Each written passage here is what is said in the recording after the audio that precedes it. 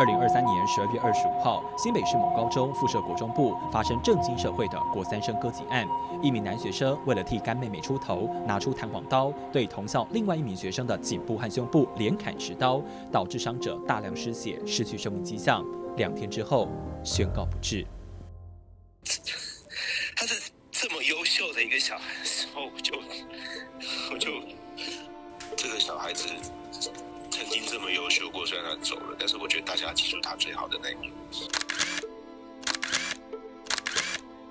回忆起逝世的学生，老师难过哽咽，并在网络上悲痛发文写下：他既优秀又富有正义感，天知道像这样特质的学生在如今有多么稀少。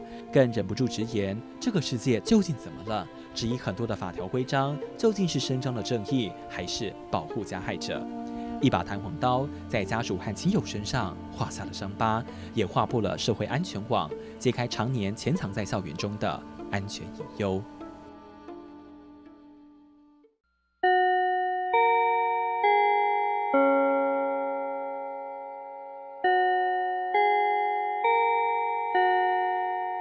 欢乐的校园却发生了难以挽回的沉痛悲剧。除了难过不舍，外界更好奇，像弹簧刀这类的危险物品为什么能够带进校园？难道如今连保障学生安全的校安检查也名存实亡了吗？老师，因为等刚刚我们接到通报哈，有一个学生他的书包有违禁品，所以等下可能麻烦两位老师跟我过去，我们要检做一个他的书包的东西的安全检查。来到高中校园，资深教官陈孝平就曾在学生的书包中发现电子烟等等的违禁品。同学，你帮忙把书包打开一下，我看一下，染色的东西我看。从书包当中找出藏匿在校园角落的违禁品，从旁观察教官的一举一动都特别小心，就怕稍有不慎惹出争议。陈孝莹说，胸前佩挂的密录器是校安人员的保命符，保护学生也保护老师。安全检查的时候。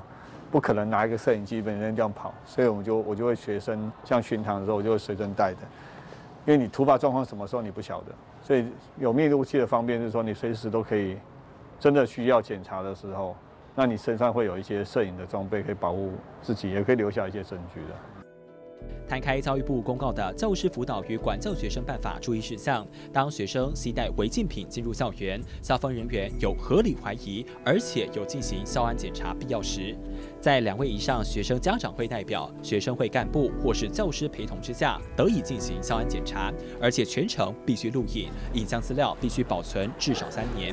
只不过，光是层层的规范以及限制，就让不少第一线的教官以及校安人员望之却步。合理怀疑，因为你必须要有相关的把握了啊！但你如果真的你的合理怀疑，但是却没有收到东西，那你自己会担心说，那法规有相关的规定会不会被有违法，或是就是超越线的，就是踩线的状况呢？教师辅导与管教学生办法注意事项的相关的规定的改变，那就导致在第一线教学现场，第一线的老师其实。他所谓的管教的工具，哦，减少非常的多。那也因为丧失了这些管教的工具之后，事实上，老师并不是不想管，而是无从管理。明明是维护校园安全的校安检查，却搞得老师们人心惶惶。第一线教师直言，辅导与管教办法彻底崩坏了校园管教的天平。老师担心被家长、学生投诉，动辄得救，迫于无奈，选择明哲保身。以现在来讲，其实已经很少学校会对学生实实施安全检查，的原因就是它很复杂，而且动辄得救。当我没有收到东西的时候。会不会反过来就是说，你为什么合理怀疑我？你标签我，你针对我，就是现在老师要受到调查的几率太高了。当你没有去做积极的要求，以学生来讲，他可能就会比较自由嘛，或是他想要做一些事情，他就会越来越大胆。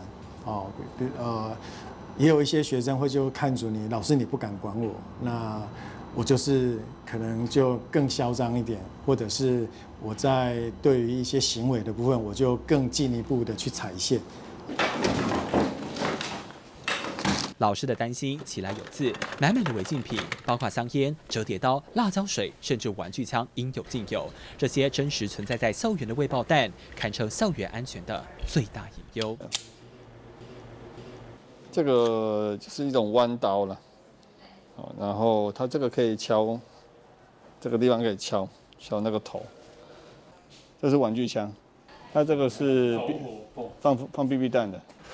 争议多年的辅导与管教办法，究竟是保护了学生，还是限制了老师？专家呼吁，保障学生受教权的同时，也应该立法保障老师的受教权。我觉得现在的老师真的很难为，教师辅导与管教学生办法都是辅导走在前面。大部分的教授们或专家们都认为要从辅导着手，要从教育着手。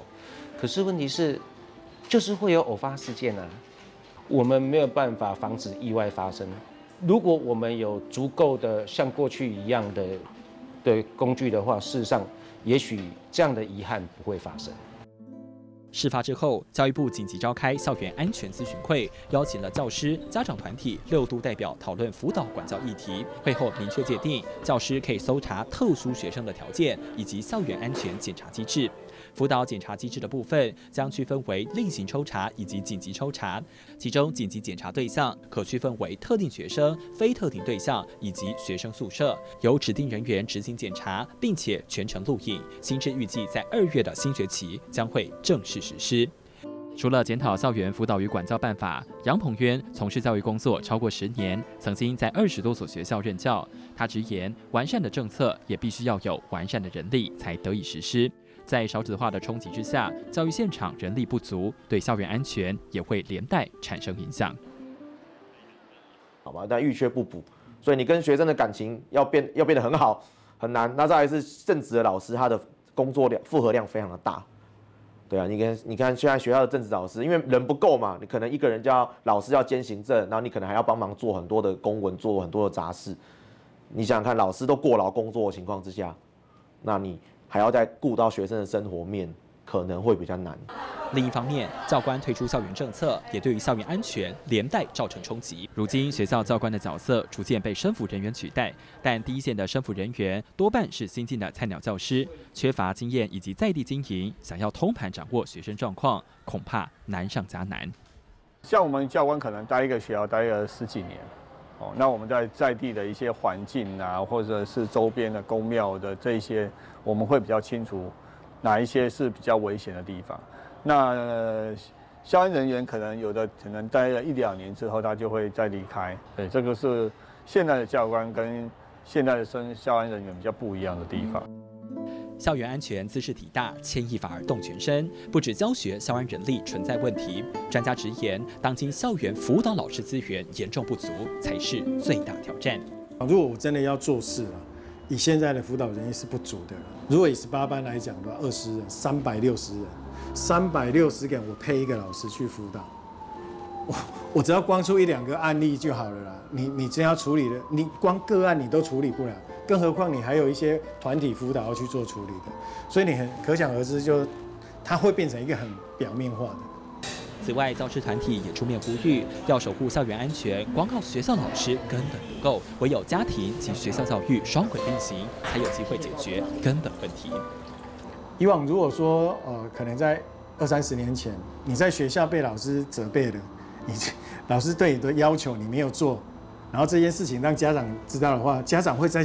家里协助我们啊，要求你就是要怎样怎样这样子。但是现在的情景刚好颠倒，可能家长会跟孩子站在一起啊。所以我说家庭教育还有整体社会氛围这很重要。新北校园割颈案震惊社会，检讨校园安全问题势在必行。除了辅导与管教办法的修正，家庭及社会网络的支持也缺一不可。唯有完善及健全的制度，才有机会补足破网，修补伤疤。